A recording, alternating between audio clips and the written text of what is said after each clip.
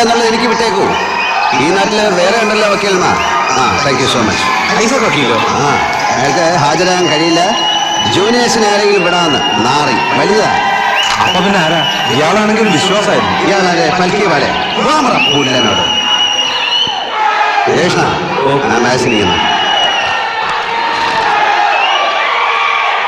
ഒരു സിറ്റിങ്ങിന് രണ്ടും മൂന്നും ലക്ഷം വാങ്ങുന്ന സുപ്രീം കോർട്ട് വക്കീലുണ്ട്. ഞാൻ വിളിച്ചാൽ പറന്നു വരും അവൻ? ഹബീബിനറിയാം വിക്ടോറിയ നമ്മുടെ സീനിയർ ആയിരുന്നു നന്ദഗോപാൽമാരാ നോക്കട്ടെ അല്ല ഇത് നരിയല്ലേ Politicians should behave themselves. The roaring lion of Supreme Court, Nandagopal Mara blurts out. Excerpts from Mara's controversial book, The Supreme Power. ഭയങ്കര ബിസി അല്ലേ നമ്മൾ പെട്ടെന്ന് വിളിച്ച വിളിച്ചാൽ അവൻ ഫ്ലൈറ്റ് ചാർട്ടർ ചെയ്ത് വരും അല്ലെങ്കിൽ ഞാൻ വരുത്തും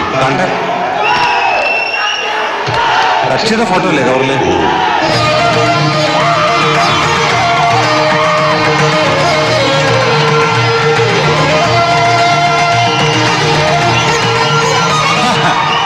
ഹബീബ് പറഞ്ഞ പോലെ നരിയാണേ. നിർത്താം. നിന്റെയൊക്കെ ശബ്ദം പൊങ്ങിയാൽ രോമം രോമത്തിന് കൊള്ളുകയല്ലേ നന്ദഗോപാൽമാരാർക്ക് വിലയിടാൻ അങ്ങ് തലസ്ഥാനത്ത് ദില്ലിയിലും ഒരുപാട് കിണാപ്പന്മാർ ശ്രമിച്ചു നോക്കിയതാ. നാസിക്കിലെ റിസർവ് ബാങ്കിന്റെ നോട്ടടിക്കുന്ന പ്രശ്നമുണ്ടല്ലോ കമ്മട്ടം.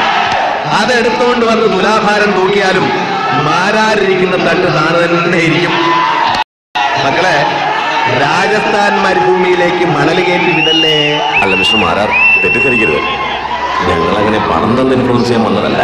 പണമല്ല പവറായാലും അതിന്റെ ഒന്നും മുമ്പേ വീണ ചരിത്രം ഈ മാരാർക്കില്ല. ഞാൻ ഏത് കേസ് വാദിക്കണം ഏത് ഏറ്റെടുക്കരുത് എന്നുള്ള കാര്യങ്ങളിലൊക്കെ നിർദ്ദേശം തരാൻ നിന്നെയൊക്കെ ഇങ്ങോട്ട് അയച്ച മണപ്പള്ളി ഭാസ്കറോ പവിത്രോ ആരായവൻ ദേവേന്ദ്രനെ മുത്തുകൊണ്ടോ പോയാ ചെറ്റയോട് പറഞ്ഞേക്ക്. മാരാരി കേസിൽ അപ്പീർ ചെയ്യുകയും ചെയ്യും. മേനോൻ സാറിനെ പുല്ലുപോലെ ഇറക്കിക്കൊണ്ട് വരികയും ചെയ്യുന്നു. എന്നെ വിളിച്ചത് എന്ത് ചൂടാ അവൻ ജയിക്കുന്നത് വരെ ഞാൻ അവന്റെ കൂടെ ഉണ്ടായില്ലേ? അത് കാണാൻ തന്നെ ഞാൻ വന്നത്.